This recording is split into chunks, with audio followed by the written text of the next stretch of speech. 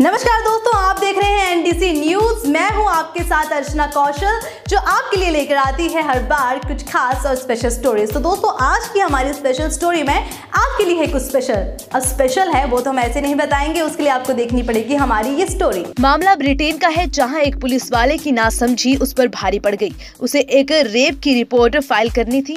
Computer पर मामला दर्ज करते वक्त उसने गलती से अपना नाम आरोपी की जगह डाल दिया और रिपोर्ट कोर्ट भेज दी। उस कस्टडी सर्जेंट ने नई नई नौकरियाँ ज्वाइन की थी और समझा जा रहा है कि वो कंप्यूटर पर रिपोर्ट फ़ाइल करने की प्रैक्टिस कर रहा था। दिलचस्प बात तो ये है कि उस कस्टडी सर्जेंट को ये जानकारी नहीं थी कि जो रिपोर्ट वो फ़ाइल कर रहा है वो लाइव है, यानी सेव पर क्लिक करते ही मामला कोर्ट पहुँच जाता है। डेली स्टार की खबर के मुताबिक हालात और भी बुरे हो गए जब मामले की सुनवाई का समय आया।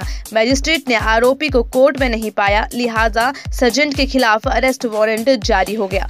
फेसबुक पर यूके कॉप ह्यूमर नाम के पेज ने ये खबर शेयर की। इसके बाद ये मामला इंटरनेट पर खूब वायरल हो गया। हालाँकि कस्टडी सर्जेंट के नाम का खुलासा नहीं किया गया।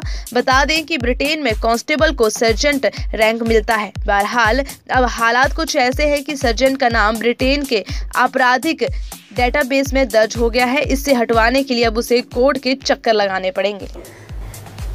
मैं जानती हूँ कि आपको हमारी स्टोरी बेहद पसंद आई और नीचे कमेंट करें लाइक करें शेयर करें और इस तरह की बहुत सारी स्टोरी हमसे जानने के लिए हमारे चैनल को कीजिए सब्सक्राइब सब्सक्राइब